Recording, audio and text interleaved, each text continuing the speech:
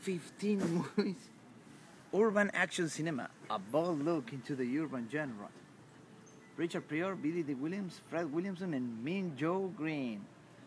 That's a movie that I want to see on a Wednesday afternoon.